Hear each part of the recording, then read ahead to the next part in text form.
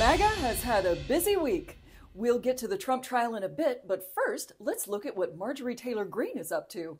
MTG has been threatening to oust House Speaker Mike Johnson if he moves ahead on Ukraine aid, and this week her buddy Thomas Massie joined in on the fun. Mike Johnson responded by rolling his eyes and ignoring the tantrum, but it only made the tantrum worse. Marge then filed amendments to require anyone who votes for the bill to join the Ukrainian military, and another one that added funding for space lasers on the southern border. That girl loves her some space lasers, doesn't she? Then Jared Moskowitz responded with his own amendment that would name her as Vladimir Putin's special envoy to the United States Congress. And we have to ask ourselves are we okay with our tax dollars being used on this kind of pettiness? And the answer is yeah, it's fun to watch. Go ahead. But Marge wasn't done yet. You see, Marjorie Taylor Greene has been on a crusade for Laken Riley, the nursing student that was killed by an undocumented immigrant. She handed out pins with her name at the State of the Union. She mentions her all the time in speeches.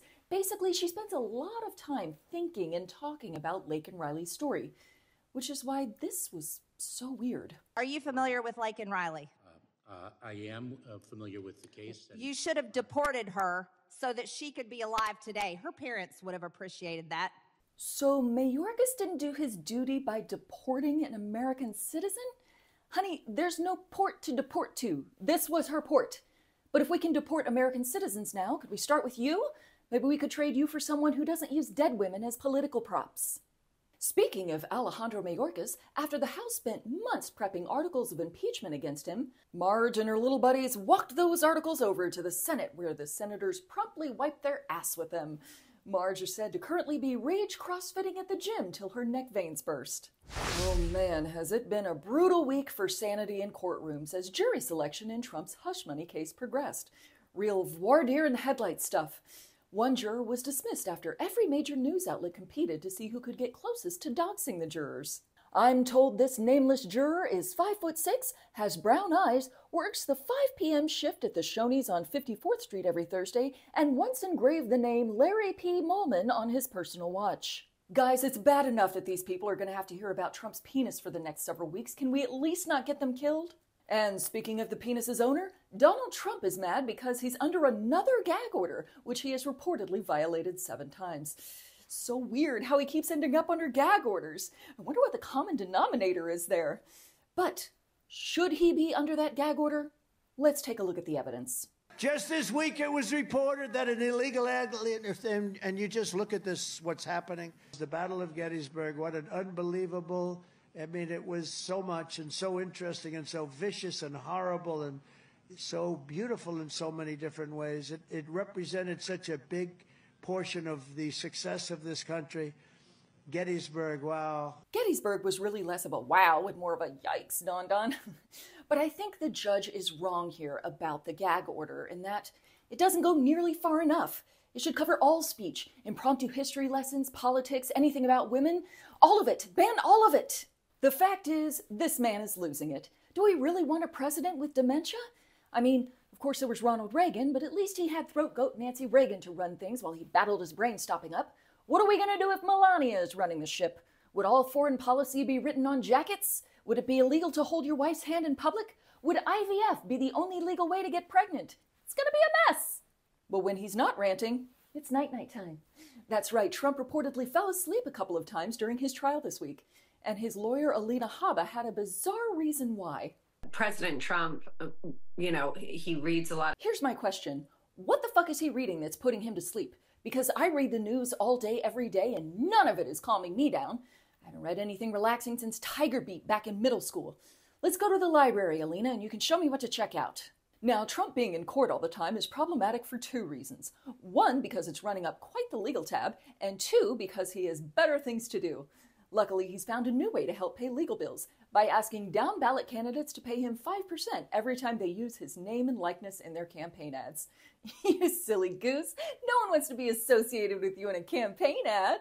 In terms of having better things to do, Trump is worried that he might not get to see his son graduate, and his buddy Charlie Kirk has some great advice for him. I, think he should just defy the order and uh, go to Barron's graduation. Get arrested. It's just more indictments.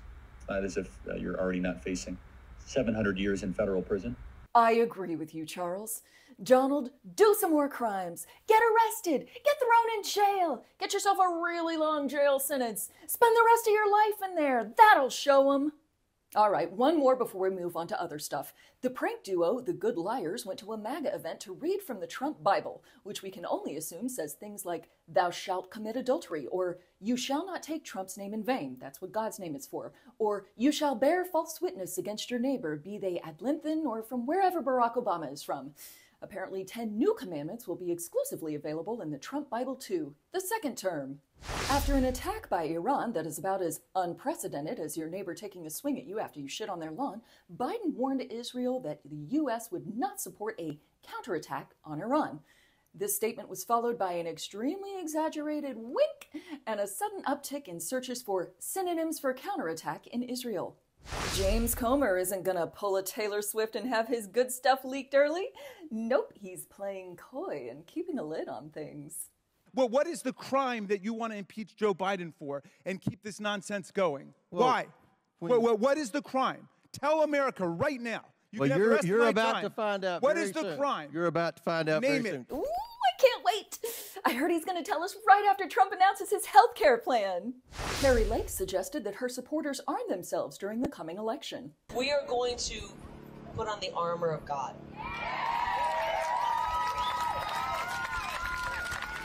And maybe strap on a Glock on the side of us just in case. Kari, you seem to have a lot of pent up aggressive energy. May I suggest a different kind of strap on?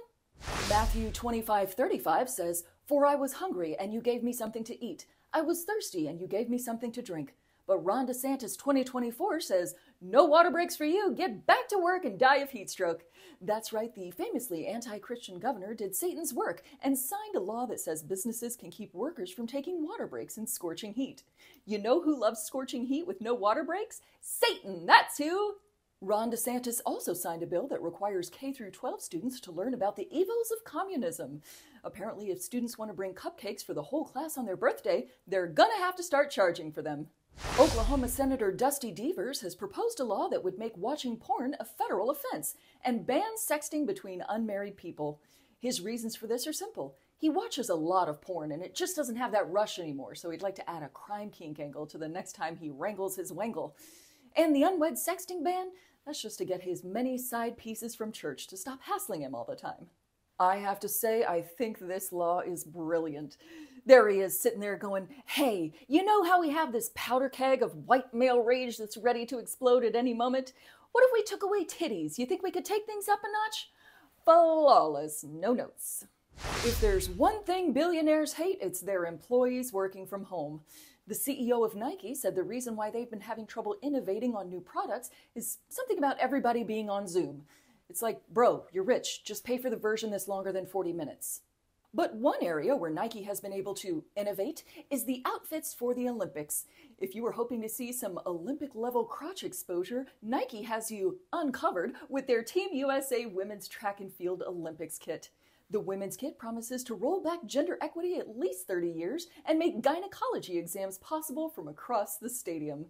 Good luck, ladies! Hope none of you are planning on having a period that month. Caitlin Clark has been drafted to play in the WNBA for Indiana. And this right here is my problem with sports. She worked hard. She had an amazing year. And now she has to go to Indiana?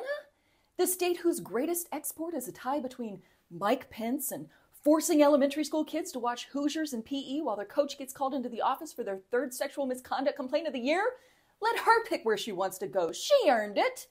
Let's review all the ways that Tesla is screwed. The Cybertruck is behind schedule, just like everything else Elon touches. The company's lost hundreds of billions in value this year, and rather than giving employees vacations for working 80 hour weeks, Elon fired 10% of them. Now the billionaire wants a raise? You don't get a raise after you've burned the office down, bro. Also, why do you need a raise? You're the second richest guy in the world. What would you even do with more money? Bring back unicorns just so you can kill one? You're a ridiculous fucking person. More bad news for Boeing this week as a whistleblower claims that their planes can fall apart mid flight. Airlines responded the way they always do by hiking their baggage fees 15%. TCL just dropped a trailer for their new AI generated short romance film about an automated robocall center disillusioned with humanity after being yelled at and hung up on by every person it called, who returns home to a Midwest VPN for President's Day, meets an old 14.4 modem from its childhood, falls in love, and learns the true meaning of crass overcommercialization. It's titled Skynet Falls in Love.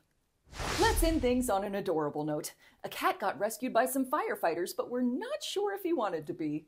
Look at that face! He's so grumpy! Aw, that's how I feel when I watch the news too, little buddy.